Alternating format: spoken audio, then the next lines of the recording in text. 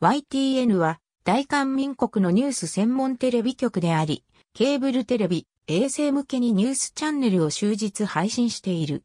1993年設立。ソウル特別市中区に本社を置く。当初、YTN の出発は、連合通信所属のテレビ局だったので、その名を、ヤヌハップテレビジョンニュースから取ったものだったのでは、間違いないのであるが、1998年の分社により連合通信と縁を切ってからは、ユアトゥルーネットワーク、イエスタデートモローナウ、現在はイエストップニュースの略のように、ニュース番組以外の時間、ちょっとした映像でアピールしてある。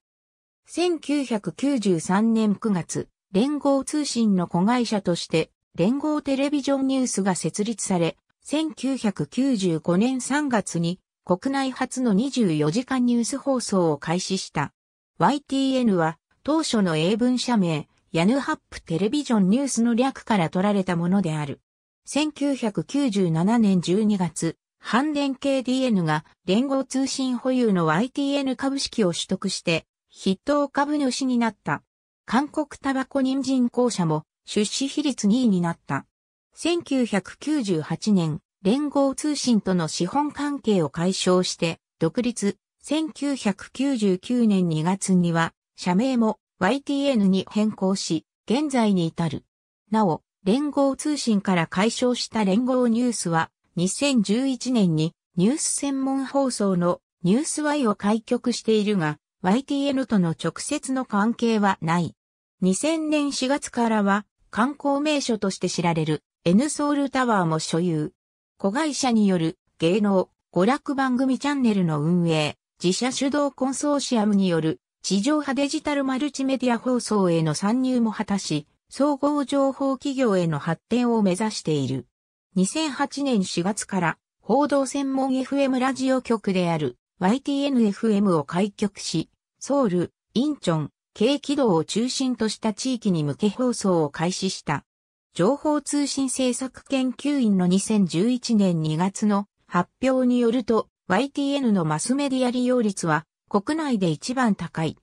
YTN は特にインターネットよりの利用率の場合も、国内媒体利用率1位、インターネットではないテレビよりの利用率の場合も、国内媒体利用率1位を記録。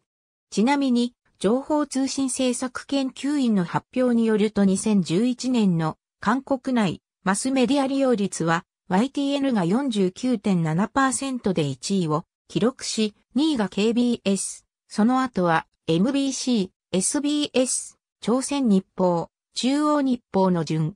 YTN は、この発表を受け、国内すべてのマスメディア利用率調査の結果、発表からもわかるように、再び全国民から信用されていると論評。上実の通り公共企業を大株主に持っているため、理事会が政権に近い人物を経営者に迎えようとする傾向があるとされている。ロブゲン政権期には政権に近い人物を社長に据える動きがあったが、労働組合によって事実上阻止されている。